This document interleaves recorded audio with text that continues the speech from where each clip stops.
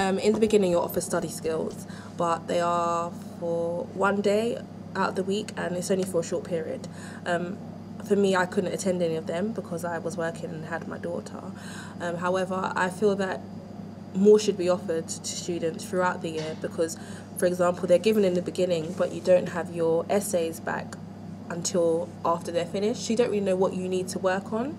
Um, also for exams, when exams are coming up, it'd be nice to have study skills there and for you to practice. There could be mini videos on the VLE showing you how to reference, um, how just, just just what's expected of you. I know it's in the blue book, but even then, some things that are in the blue book were different to what our tutors were writing down on our essays, feedback, little things. So yeah, that could be um, changed.